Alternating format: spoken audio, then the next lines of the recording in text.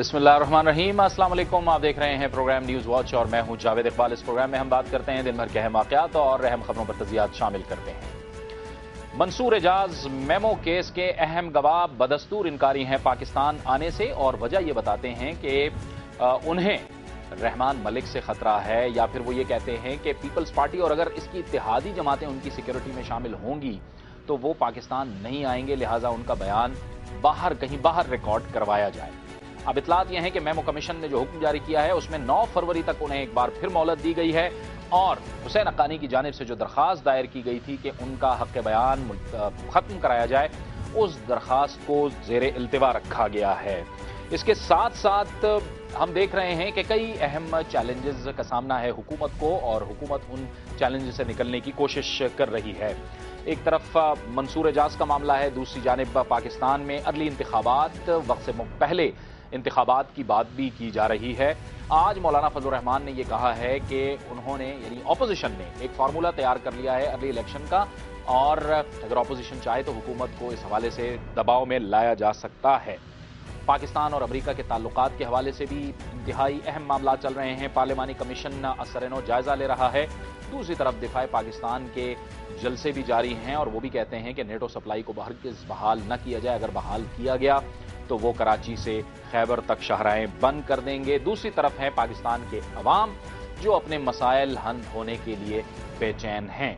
सबसे पहले हम जानने की कोशिश करेंगे कि आज मेमो मामले पे जो कार्रवाई हुई है, उसमें क्या कुछ हुआ है और मेमो कमीशन का क्या हुक्म आया है, इसके लिए हमारे साथ मौजूद हैं दुनिया न्यूज़ के नुमाइंदे मियाँ शाहिद, जो हमें बताएँगे कि आज इजलास में क्या कुछ हुआ। जी शायद बताइए कि क्या हतमी तौर पर कार्रवाई हुई है आज? जावेद, आज मेमो केस के हवाले से जुडिशल कमीशन ने नौ साढ़े नौ बजे अपनी कार्रवाई का आगाज़ किया। जुडिशल कमीशन को मेमो के हवाले से तहकीकात का में मुश्किल का सामना है, क्योंकि सारे दिन की जो प्रोसीडिंग है, उसमें एक ही बात की गई है, और मंसूर एजाज के जो वकील हैं, अक्रम शेख, उनका कहना है कि वो मंसूर एजाज जो है, वो पाकिस्तान आना चाहते थे, वीज़ा भी उनको मिल गया था, लेकिन यहाँ पर रहमान मलिक और दीगर हुकूमती मशीनरी जो है वो उनको धमकियाँ दे रही थी, उनके खिलाफ मुकदमे बनाने की बातें हो रही थी ई में नाम डालने की बातें हो रही थी, जिसकी वजह से उन्होंने इनकार कर दिया। कमीशन ने उस पर बरहमी का इजहार किया और वज़ीर दाखिला को यहाँ तलब किया। वज़ीर दाखिला तीन बजे कमीशन के सामने पेश हो गए। उनका कहना था कि उन्होंने तीन दिन जो है वो अटॉर्नी जनरल से इस बारे में मनसूबाबंदी की कि मंसूर एजाज को सिक्योरिटी किस तरह देनी है और अक्रम शेख को इस हवाले से इतमाद में लिया गया। लेकिन अक्रम शेख जो है वो मुतमिन नहीं हुए हुए, जिस पर अक्रम शेख ने कहा कि मुझे किसी भी सूरत में इतमाद में नहीं दिया गया, ना ही मुझे कोई खत लिखा गया है। रहमान मलिक का कहना था कि वो अदालतों का एहतराम करते हैं और वो हर किस्म की सिक्योरिटी उनको देना चाहते हैं और उन्होंने ये बयान नहीं दिया था। उनके बयान को त्रोड़ मरोड़ कर पेश किया गया है और वो उन्होंने कभी भी ये नहीं कहा कि उनका नाम जो है ईसीएल में डाला जाएगा। अगर पार्लिमानी कमेटी कहती भी है तो वो कमीशन को इससे आगाह करेंगे, जिस पर कमीशन का मंसूर एजाज के वकील अक्रम शेख का को कहना था कि वो मंसूर एजाज को दोबारा पूछें और उनको पूछें कि वो साफ़ साफ़ बताएँ कि वो पाकिस्तान आना चाहते हैं कि नहीं। इतनी यकीन दहानियाँ कराई गई हैं सिक्योरिटी के हवाले से, जिस पर अक्रम शेख ने उनसे रबता किया तो उन्होंने एक ईमेल कर दी। ईमेल के प्रिंट जो है वो कमीशन के सामने रखे गए। अक्रम शेख का कहना था कि वो ईमेल को पढ़कर नहीं सुना सकते। कमीशन अगर चाहता है तो वो पब्लिक कर दे, क्योंकि अगर ईमेल का जो मतन है वो पढ़ा गया तो रहमान मलिक की सुबकी होगी। उन्होंने ये भी कहा कि मंसूर एजाज का कहना है कि वो पाकिस्तान आएँगे तो कत्ल कर दिए जाएँगे। इस इन अल्फाज को कमीशन ने हजम कर दिया। उनका यह भी कहना था कि उन्होंने मंसूर एजाज ने ये भी इल्ज़ाम लगाया है कि रहमान मलिक ने मोहतरमा बेनजीर भुट्टो की सिक्योरिटी की ज़िम्मेदारी ली थी, लेकिन वो भी शहीद हो गई। ये भी अल्फाज जो है वो हजफ कर दिए गए। और अब जो है वो ऑर्डर लिखवाया जा रहा है। इससे पहले कमीशन ने अक्रम शेख को दोबारा मौका दिया था कि वो मंसूर एजाज से बात करें। उनसे साफ़ साफ़ पूछे कि वो कब आ रहे हैं। और कमीशन का यह भी कहना था कि अब हमें सुप्रीम कोर्ट से वक्त लेना पड़ेगा। अगर नेक्स्ट तारीख दी गई तो फिर अक्रम शेख ने दोबारा उनसे रबता किया। उनका कहना था कि उनसे रबता नहीं हो रहा, उनके सेक्रेटरी से रबता हुआ है। मंसूर एजाज से रबता नहीं हुआ। उन्होंने अक्रम शेख का कहना था कि आइंदा माह दो तारीख से लेकर सात तारीख तक वो उम्रे पर जा रहे हैं। आठ तारीख जो है वो रखी जाए और एक और मोहलत दी जाए जिस पर कमीशन ने उनको नौ जनवरी तक की मोहलत दे दी और ये कहा है कि वो अब मंसूर एजाज की हाजिरी जो है वो यकीनी बनाए, जिस पर अक्रम शेख का कहना था कि अपनी हाजिरी तो वो यकीनी बना सकते हैं, लेकिन मंसूर एजाज की तरफ़ से वो कुछ नहीं कह सकते क्योंकि वो रहमान मलिक पर एतमाद नहीं कर रहे और ना ही रहमान मलिक के मतहत जो अदारे हैं उन पर एतमाद कर रहे हैं। अभी कमीशन जो है वो ऑर्डर लिखवा रहा है। चार है। दफ़ा कमीशन ने वक्फा लिया और चार दफ़ा ही मौका दिया गया कि वो मंसूर एजाज के हवाले से कोई ना कोई मौकफ जो है वो जान सके। लेकिन अभी तक मंसूर एजाज के हवाले से कोई वाजे मौकफ जावेद नज़र नहीं आया ना बहुत शुक्रिया मियाँ शायद आपका मियाँ शायद का कहना था कि चार वक्फे दिए गए चार वक्फे हुए और चार मरतबा मौका दिया गया। अक्रम शेख ये कहते हैं, मंसूर एजाज के वकील के वो अपनी हाजिरी तो यकीनी बना सकते हैं, लेकिन मंसूर एजाज के हवाले से वो कुछ नहीं कह सकते, क्योंकि आज दोबारा मंसूर एजाज ने मेमो केस में पाकिस्तान आने से इनकार कर दिया है। क्या ये मामला उलझते जा रहे हैं या सुलझते जा रहे हैं, या मामला, मेमो का जो मामला है, वो अब खत्म होने की तरफ़ जा रहा है? इन पे भी हम बात करेंगे, इन तमाम मामला पर बात करेंगे और इसके लिए आज हमें स्टूडियोज में ज्वाइन किया है अवामी नेशनल पार्टी के सेक्रेटरी इतलात जनाब सेनेटर जाहिद खान साहब ने। जाहिद खान साहब भी हमारे साथ मौजूद हैं। ब्रेक के बाद हमें और मेहमान भी ज्वाइन करेंगे। जाहिद खान साहब, आपको खुश आमदेद कहते हैं प्रोग्राम में। जाहिद साहब अक्रम शेख साहब की बात तो आपने सुन ली, अभी मियाँ शायद ने हमें बताया कि वो अपनी हाजिरी को तो यकीनी बनाएँगे, मंसूर एजाज की हाजिरी को वो यकीनी नहीं बना सकते। आपको लग रहा है कि मामला बस अब गोली हो रहा है? बिल्कुल जावेद साहब इब्तदा से जब ये इशू है मेरे ख्याल में, मेरे एक दो दफ़ा आपके प्रोग्राम में भी इस पर बात हुई थी। अवाम नेशनल पार्टी का रोज़ हॉल से एक स्टैंड था। उन्होंने कहा कि ये एक ऐसा लग रहा है कि जी कोई बंदा है और वो बंदा कि जिसका क्रेडिबिलिटी अमेरिकन भी नहीं मानते हैं, पाकिस्तान में भी उसने बहुत सारे ऐसे बयान तो हमारे इदारों के ख़िलाफ़ दिए और वो अपने आप को कहता भी है कि मैं अमेरिका के उपादार हूँ, पाकिस्तान का नहीं हूँ। तो हम उसी वक्त से कह रहे थे कि इस मसले का मेरे ख्याल में कुछ भी नहीं होगा। और वो हुआ क्योंकि अभी कमीशन में है तो अच्छा नहीं लगता कि उस पर हम बात करें, लेकिन अब ये जो सूरत हाल सामने आ रही है, मेरे ख्याल में कमीशन अब जितना जल्दी मुमकिन हो कि इसका डिसीज़न ले ले, क्योंकि सारी मीडिया सारी कौम उसके मेमू की तरफ़ नज़र है, और ये एक दो महीने हमारे कौम के ज़ाय हुए। जिस तरह इब्तदा में आपने कलिमात में कहा कि इस मुल्क में और बहुत सारे मसाइल है।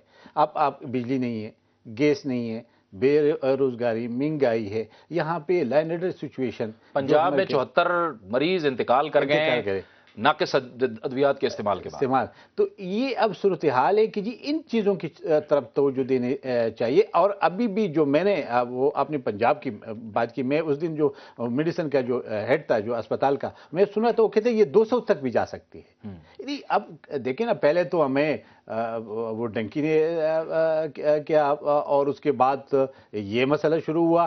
तो इसलिए हम कहते हैं कि नॉन इश्यूज़ को इश्यूज़ हम बना के इतने हाईलाइट करते हैं कि जो अहम मसाइल है जो आवाम के मसाइल है वो दब जाते और रह जाते हैं। मेरे ख्याल में ऐसी चीज़ों से हमें इजनाब करना चाहिए। आवाम के मसाइल पर हमें तोजो देनी चाहिए। हम चाहे पोलिटिकल लोग हैं चाहे हम हमारे मीडिया है चाहे हमारे दानिश्वर है या हमारे और कोई लोग है हमें चाहिए कि इसकी तरफ़ तोजो दे ताकि आवाम के मसाइल ठीक है। अवामी मसाइल की तरफ़ हमें तवज्जो देनी होगी क्योंकि दीगर मसाइल में हमारा वक्त ज़ाया हो रहा है। ये कहना था सेनेटर ज़ाहिर खान साहब का। एक ब्रेक का वक्त हो गया है। एक ब्रेक लेते हैं और ब्रेक के बाद गुफ्तु का सिलसिला जारी है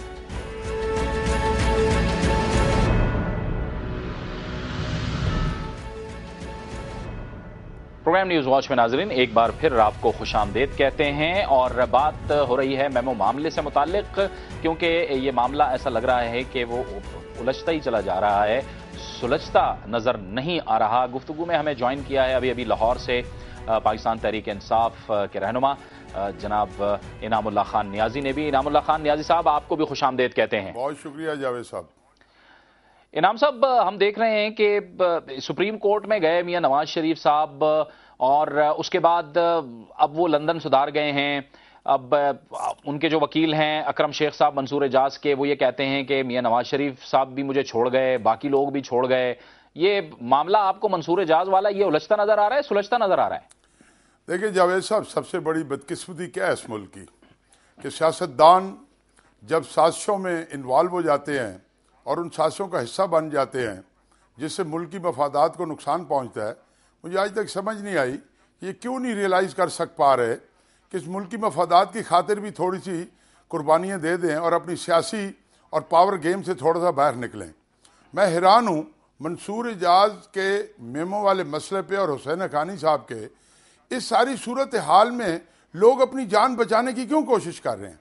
आज मैं देख के मुझे बड़ा दुख हो रहा था कि जिस तरीके से, जिस ढिठाई से ये हकूमत मंसूर एजाज वाले किस्से को सबोटाज करने की कोशिश कर रही है, और ये इस कोशिश में मसरूफ हैं कि कोई बंदा सामने ना आए, और जो बंदा जो मेन गवाह है, जो सबूतों के साथ पाकिस्तान आना चाहता है, उसको क्यों भगाया जा रहा है?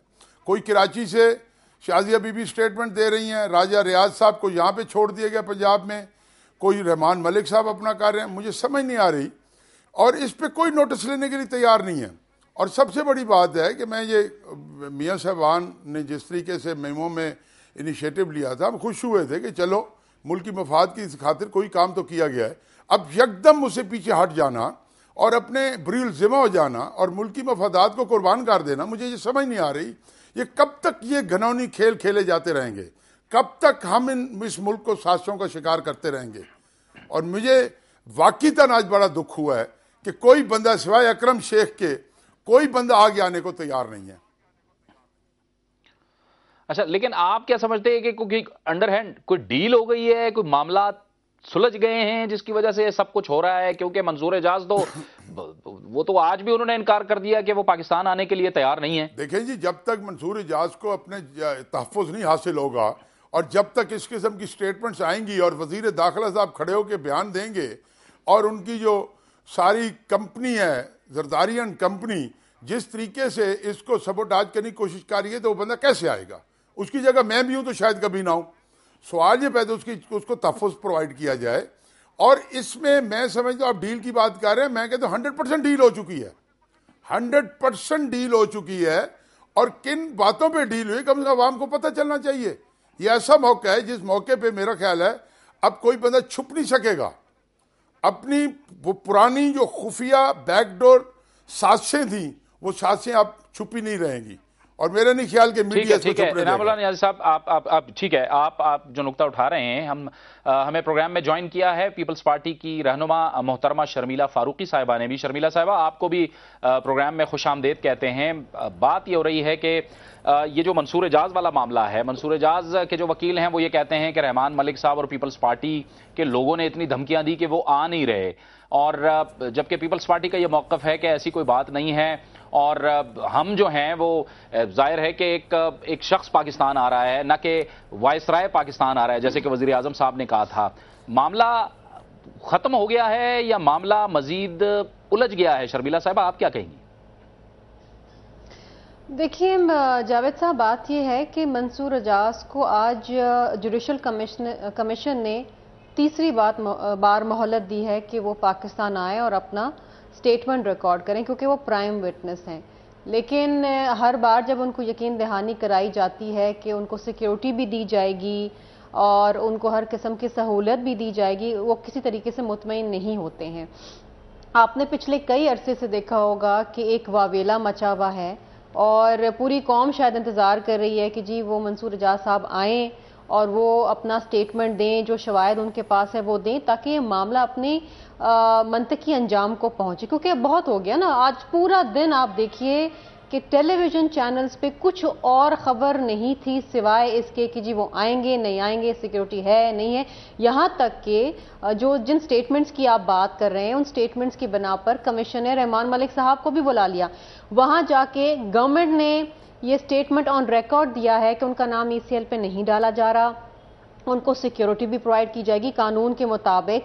उसके बावजूद फिर जब टाइम दिया गया अकरम शेख साहब को कि जी जाके पूछें अपने क्लाइंट से उसके बावजूद उन्होंने कह दिया कि जी मुझे नहीं आना। अब देखिए पीपल्स पार्टी और इतिहादी उनकी सिक्योरिटी ना करें। अब कौन करे फिर उनकी सिक्योरिटी मुझे समझ नहीं आती है।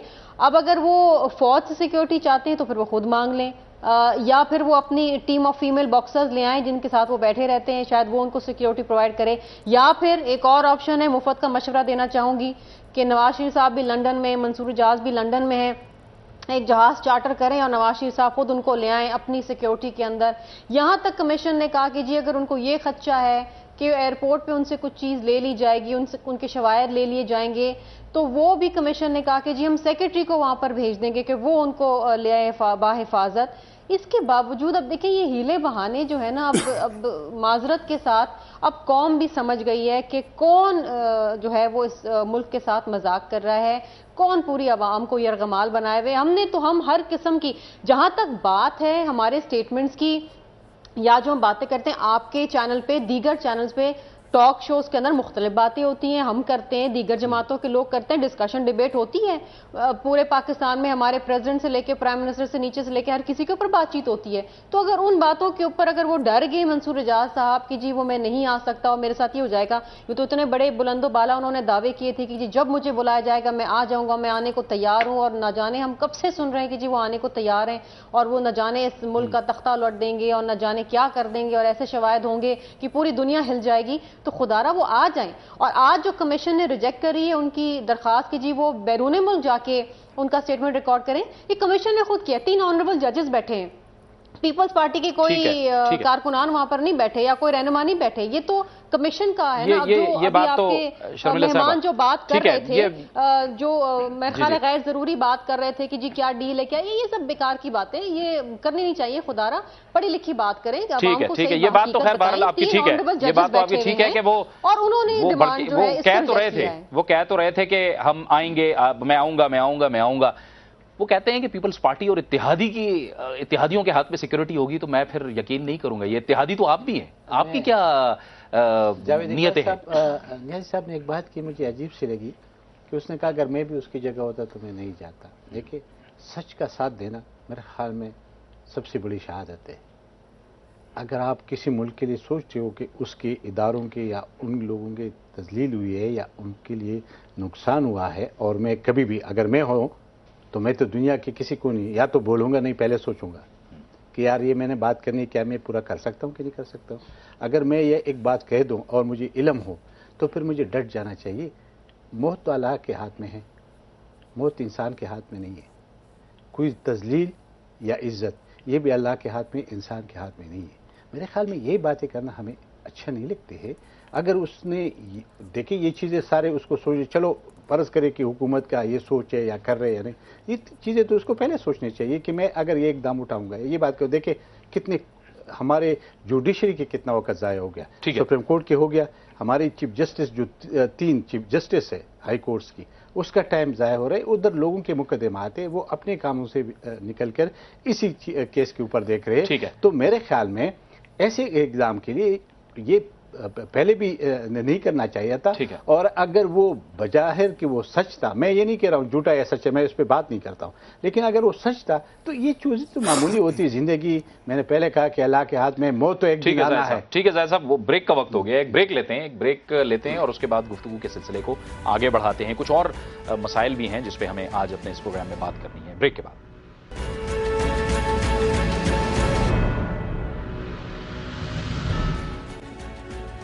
प्रोग्राम न्यूज़ वॉच में नाजिन एक बार फिर आपको खुश आमदेद कहते हैं। गुफ्तु में हमें ज्वाइन किया है सीनियर सहाफ़ी और सीनियर तजियाकार जनाब मुजीबुररहमान शामी साहब। अर्जी कर रहे थे हम कि आज की जो पेशरफ हुई है, मंसूर एजाज ने एक बार फिर आने से इनकार कर दिया है। वो कहते हैं, जी रहमान मलिक साहब और उनके इतिहादी वो धमकियाँ दे रहे हैं, सिक्योरिटी वजूहत हैं और उन्हें फिर एक मौका दे दिया गया है। देखिए, जावेद साहब जावेद साहब, ये जब से वाक़ हुआ है, मैं तो इसके बारे में यही अर्ज़ कर रहा हूँ कि ये बड़ा एक मशकूक सा मामला है। अब मंसूर एजाज एक मशकूक शख्स हैं और उनकी सारी हरकत मशकूक रही हैं। और हमने इसको जितनी संजीदगी से लिया है हमें तो उस, मुझे तो उस पर ताजुब होता है। और हमारे अदारे जिस तरीके से एक दूसरे के मुकाबले आए हैं उसने और हमने अपना तमाशा जिस तरह से बनाया है उस पर दुख का ही आज़ाद किया जा सकता है। और मंसूर एजाज साहब ने जिस तरह के मौकफ बदले हैं अगरचे कि अब हमारी जो हुकूमत थी और उसके जिम्मेदारान थे उन्होंने भी आ, उनको कंफ्यूज करने में बड़ा किरदार अदा किया है लेकिन उनके अपने मौकफ भी जो हर रोज बदलते रहे हैं। सुबह कुछ शाम कुछ आ रहे हैं नहीं आ रहे हैं वीज़ा ले रहे हैं नहीं ले रहे हैं फिर वीज़ा ले लिया फिर खबर आई जहाज़ पे आ गए दुबई आ गए और फिर आया कि मैं नहीं आऊँगा। और ये कहा कि पीपल्स पार्टी और उसके इतिहादी जो है, अगर सिक्योरिटी में शरीक होंगे तो मैं नहीं आऊँगा। तो ये सब बातें तो उन पर वाजिब थी। उनको मालूम था पाकिस्तान में पीपल्स पार्टी की हुकूमत है। वज़ीर दाखिला पीपल्स पार्टी से ताल्लुक रखता है। तो पहले दिन ही उन्हें कह देना चाहिए था कि मैं पाकिस्तान आने को तैयार नहीं हूँ। ये तो सारा एक मज़ाक बन के रह गया। अभी आपको क्या लग रहा है ये ये मामला कुछ हल हो गया है? क्योंकि अभी भी जब हम बात कर रहे हैं तो हम ये खबर दे रहे हैं कि आर्मी चीफ की डीजीआईएसआई की और वज़ीर खारजा की वज़ीर आज़म गिलानी साहब से मुलाकात हो रही है। ये तो ज़रूरी नहीं है कि वो मेमो कमीशन के बारे में हो रही हो। जी जी बिल्कुल बिल्कुल। तो हो सकता है कुछ दूसरे मसाइल भी हैं। बिल्कुल। उ- उनके बारे में भी गुफ्तगू हो सकती है। नेटो के मसाइल हैं जो अमेरिकन रिपोर्ट आई है फौज की उसके ऊपर भी मशवरा हो सकता है। बिल्कुल, बिल्कुल। और भी खारजा पॉलिसी के मसाइल हैं। लेकिन अब इस मामले में तो कुछ समझ नहीं आ रही कि मामला कैसे आगे बढ़ेगा। कमीशन ने कह दिया है कि अगर 9 फरवरी को नहीं आएँगे तो फिर इस लिहाज से तो ये मामला ठप होगा। हाँ तो इसका मतलब है कि अगर वो 9 फरवरी को भी नहीं आएँगे तो फिर ये मामला ऐसा लग रहा है कि बस ये खत्म खत्म खत्म ही समझे इसको फिर शामी साहब। खत्म ही होगा वगरना जो पिटिशनर्स हैं वो उनको चाहिए कि वो आए और अपने फिर मवाद रखें और अपने दलाइल दें या फिर तो पिटिशनर की ज़िम्मेदारी होगी ना जो आदमी दरखास्त देता है है। किसी मामले को उठाता है उसकी ज़िम्मेदारी है कि वो अपने अपने मवाद को पेश करे अल्जाम जो है उनका सबूत पेश करे तो उसके बाद सफ़ाई का मरहला आएगा ना। तो। हुसैन अकानी साहब हैं या दूसरे लोग हैं तो वो तो सफ़ाई उस वक्त पेश करेंगे जब उनके बारे में मुतयन अल्जाम सामने आ जाएँगे सबूत के साथ या शवाद के साथ। तो मेरा ख्याल जो पटिशनर्स हैं उनकी ज़िम्मेदारी बढ़ जाएगी फिर। ठीक है नियाजी साहब आप बताइए आपको समझ में आता है क्योंकि अकरम शेख साहब ये भी कहते हैं कि नवाज़ शरीफ साहब लंदन चले गए उनका जो वो तो सुप्रीम कोर्ट में इस केस को लेकर गए थे। मैं जनाब गुजारिश करना चाहता हूँ कि मुझे मैं ये नहीं कह रहा कि मीमो केस कोई हंड्रेड परसेंट सच होगा। मैं ये कहता हूँ झूठा है ये मान लिया। बट सवाल ये पैदा होता है कि मंसूर इजाज से ज़्यादा हमारी हुकूमत इस्लामाबाद में बैठी, जो ड्रामे कर रही है और जिस तरीके से पीपल्स पार्टी इसको टैकल कर रही है, वो बड़ा एक अजीब सा, एक चीज़ की सूरत हाल क्रिएट कर दी है। और जहाँ पे जायद साहब ने अभी फरमाया कि जजों के टाइम ज़ाया हो रहे हैं। मैं जायद साहब को गोश गुजार करना चाहता हूँ कि सवाल ये पैदा होता है, जब अगर ये मुल्क नौीयत का मुल्क के खिलाफ साजिश है, अगर ये सच है तो जजों का टाइम इतना इंपॉर्टेंट नहीं है जितना इस साजिश को बेनकाब करना ज़रूरी है। और मैं ये कह कह रहा हूँ कि जिस तरीके से हुसैन हकानी को प्राइम मिनिस्टर हाउस के अंदर दबा के बैठा दिया गया है और जिस तरीके से हुकूमत इस पर बयानबाजी कर रही है और वज़ीर दाखिला साहब जितने ओपनली और जितने फनी तरीके से मैसेज दे रहे थे लोगों को, वो अजीब सी सूरत हाल थी। मैं कहता हूँ, बिल्कुल गलत है। ये मंसूर एजाज झूठ बोल रहा है। आप मंसूर एजाज के को आने से रोकने के लिए जो हथकंडे इस्तेमाल कर रहे हैं उससे क्या साबित होता है? हुसैन अकानी को वज़ीर आज़म हाउस में दबाने का क्या क्या तुक बनता है? या उसका वजात की जाए? ठीक है ठीक है। शर्मिला साहिबा शर्मिला साहिबा आप इसका जवाब देंगी कि फिर क्यों उनको रोका जा रहा है? जब मामला ही ऐसा कुछ नहीं है तो फिर क्यों आपके जो वजरा हैं या रहनुमा हैं वो धमकी आमेज रवैया अपना रहे हैं? जावेद साहब, मुझे समझ नहीं आ रही कि आप कौन से स्टेटमेंट्स का ज़िक्र कर रहे हैं, कौन से धमकियाँ, मेज, रवैया या बयानात की आप बात कर रहे हैं। अगर कोई टॉक शोज़ के हवाले से अगर आप किसी का ज़िक्र कर रहे हैं तो उसका अगर आप वजाहत करें तो बेहतर होगा। लेकिन मैंने आपसे पहले भी अर्ज़ किया कि आज जो रहमान मलिक साहब को बाकायदा कमीशन ने बुलाया, वहाँ पर जनाब उन्होंने गारंटी दी हुकूमत पाकिस्तान की जानब से और उन्होंने वजाहत करी अपने उस बयान की, जिसके ऊपर पूरा एक वावेला मचा हुआ था कि जी वो मंसूर आज़ाद आएँगे और उनको ई सी एल पर डाल दिया जाएगा। उन्होंने बाकायदा बताया कि किस कॉन्टेक्स्ट में कहा गया था। उससे कमीशन भी मुतमिन हुआ और उसके बाद कमीशन ने कहा, अक्रम शेख साहब हो के जाइए, अपने क्लाइंट से पूछें, वो कब आ सकते हैं? ये जो न्याजी साहब अभी बात कर रहे हैं बड़ी गैर ज़रूरी और गैर मुनासिब बात कर रहे हैं कि कौन से हटगंडे इस्तेमाल कर रहे हैं कौन सा ड्रामा रचा रहे हैं ये चीज़ें अच्छी नहीं लगती ख़ास तौर पर सीनियर लोगों की ज़बान से। मुझे आप ये बताइए हमने कब रोका है मंसूर एजाज को आने से? हम तो नहीं रोक रहे। हर किस्म की सिक्योरिटी प्रोवाइड करने को तैयार मरी साहबा का बयान राजा रियाज का बयान जो टीवी पे आके उन्होंने दिया है। मीडिया को उसमें कोई दखल नहीं देखिए मेरी बात सुने एक सेकंड ठहरी मेरी बात सुनिए। राजा रियाज साहब ने बाकायदा एक एप्लीकेशन दी है कमीशन को कि वो उसमें पार्टी बनना चाहते हैं। उन्होंने ये भी एप्लीकेशन दी है कि जनाब उन, उनको मंसूर एजाज को on sedition under article six में ट्राई करना चाहिए क्योंकि उन्होंने एतराफ़ किया है कि शहीद बीबी की हुकूमत गिराने के लिए उन्होंने एक बड़ा अहम किरदार अदा किया। ज़ाहिर बात है जब मंसूर एजाज आएँगे तो बहुत सारी बातें पूछी जाएँगी। उनमें ये भी बातें सर फहरस्त होंगी कि जी वो आई एस आई और आर्मी के खिलाफ जो बातें करते रहे और बड़े बुलंदो बाला बातें करते रहे आर्टिकल्स लिखे कि जी आई एस आई जो है टेररिज्म के अंदर इन्वॉल्व है आई एस आई जो एक्सपोर्ट करी टेररिज्म वो किन शवाहिद की बुनियाद के ऊपर उन्होंने ये बातें की? तो जब आएँगे तो बहुत सारी चीज़ें पूछी जाएँगी। ये तो नहीं हो सकता कि ये पूछ लें और ये ना पूछें। मंसूर इजाज क्या सोचते रहे हो गैर मुल्की है। हम इस चीज़ से कंसर्न है हुसैन हकानी ने क्या कहा है? नहीं नहीं सुने देखें हुसैन हकानी ने कहा है गलत कहा है? मैं मानता हूँ। हक्कानी हुसैन हक्कानी तो यहाँ पर है ना लेकिन जो उसी का तो हिसाब मांग रहे हैं हैं हम। जो तो भाई वो तो खुद नहीं आना चाह रहे। मेरा ख्याल है कि ना आप खबरें पढ़ते हैं ना आप अखबार पढ़ते हैं ना हाँ, आप मेरा ख्याल है आप- फॉलो करते हैं कि, आप कि इवेंट्स क्या है। काफ़ी अवेयर हैं सारी चीज़ों से और बाकी हम सियासत साहब मेरा ख्याल है कि आज पूरा आता दिन टीवी चैनल ने सिवाय minute to minute judicial commission की प्रोसीडिंग्स के और कुछ नहीं दिखाया। और मैं समझती हूँ अगर आप देख लेते आधा घंटा भी कोई टीवी चैनल तो आपको पता होता कि जी क्या प्रोसीडिंग्स हुई हैं। उसके बाद फिर आप ये इस किस्म की सारी मैंने देखी ठीक है ठीक है न्याय साहब। न्याय साहब मैं आता हूँ आपकी तरफ़ आता हूँ लेकिन जी शर्मिला साहबा आप भी हमारे साथ रहिए। इस मरहले पे शुक्रिया अदा करेंगे। मुजीबुर रहमान शामी साहब का जो हमारे साथ मौजूद रहे। एक ब्रेक का वक्त हो गया ब्रेक लेते हैं और ब्रेक के बाद प्रोग्राम के सिलसिले को जारी रखेंगे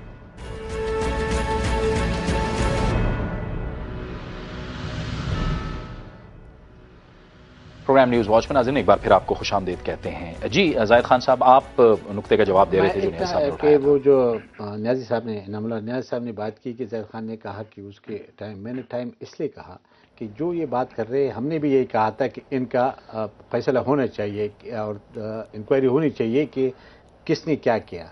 लेकिन जब अभी आपके सामने एक चीज़ आ रहा है कि वो वही वाला मिसाल के पहाड़ कोदा निकला चूहा अभी आखिर में जो चीज़ सामने आ रही है तो मैं इसी पे बात कर रहा हूँ क्योंकि इस वक्त जो सिचुएशन बन रही है अब वाली बात है कि एक चीज़ अख्ताम तक जा रहा है लेकिन इस पर इतना जो वक्त ज़ाया हुआ जब सारे मीडिया इस तरफ़ लेगी जो आवाम लेगी और आज अगर हम ये बात करते तो हम ये बात करते कि जी मसाइल है फिर इनामुल्ला न्याजी साहब हम पे तनकीद करते हम हुकूमत में जी ये महँगाई है बेरोजगारी। और हम उसका जवाब देता तो ज़्यादा बेहतर होता है। कि बनस्बत इस मेमो की मेमो तो वैसे भी बस अभी आखिरी अच्छा आपने अवामी मसाइल की तरफ़ निशानदेही की है। अवामी मसाइल की तरफ़ निशानदेही की है। न्याय साहब मैं आपकी तरफ़ आता हूँ लेकिन अब जो अब सबसे बड़ा मसला अब हुआ है ये जो पंजाब में जो कुछ हुआ है लाहौर के अंदर हुआ है पीआईसी की अद्वियात की वजह से तकरीबन सत्तर से जायद अफराद जहाँ बाहक हो गए हैं।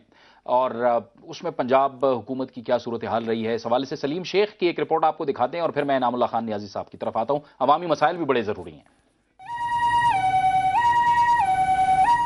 अद्वियात के रिएक्शन से हलाकतों का सिलसिला बढ़ता जा रहा है। अभी तक हुकूमत को इस बात का पता नहीं चल सका कि कौन सी दवा से रिएक्शन हो रहा है। मगर इसके बावजूद हुकूमत ने अद्विया साज इदारों के खिलाफ कार्रवाई का सिलसिला शुरू कर दिया है, जबकि दूसरी तरफ़ अखबार में इश्तहार शाया करवा कर आवाम को आगाह किया जा रहा है की इब्तदाई छानबीन के मुताबिक अद्वियात में कोई खराबी नहीं है। पाँच दवाइयाँ थी, वो पाँच कंपनियों की थी। उसमें कुछ अंजाना की थी, कुछ ब्लड प्रेशर की थी, कुछ बीटा ब्लॉकर्स थे, कुछ डिस्प्रिन वगैरह थीं। तो उसमें जिस दवाई को बज़ाहिर देखने में उसकी शक्ल बदली थी, उस कंपनी को कल सील कर दिया गया। हुकूमत के इकदाम के बरक्स अद्विया साज इदारों का कहना है कि मरीजों को अद्वियात की फरहमी से कबल उनके टेस्ट करवाए जाते हैं और जिसमें कोलेस्ट्रोल की मकदार को कंट्रोल करने के लिए मेगा कंपनी की कार्डियो वेस्टर्न के भी टेस्ट किए गए थे, जो कि म्यारी थे, और अब दोबारा टेस्ट किए गए हैं, जिनमें इज्जा पूरे हैं। ताहम उन पर कहीं स्पॉट नज़र आने पर गैर म्यारी करार दिया गया है।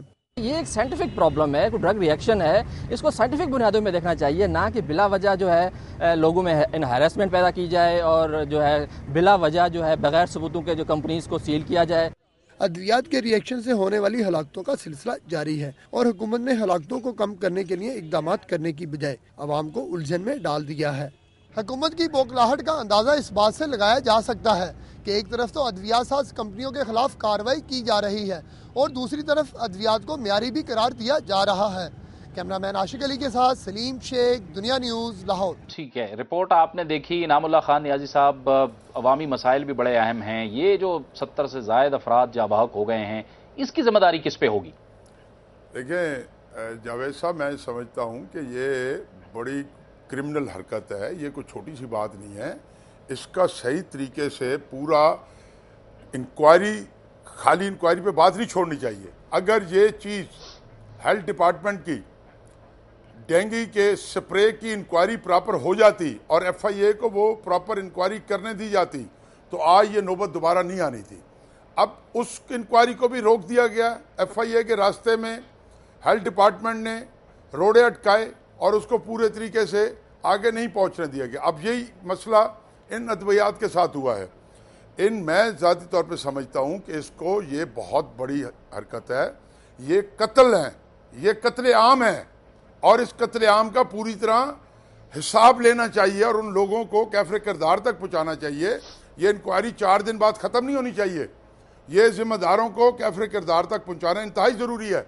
और मैं समझता हूँ, सीएम साहब की जो नीचे टीम काम कर रही है, उसकी इनकम्पिटेंसी है।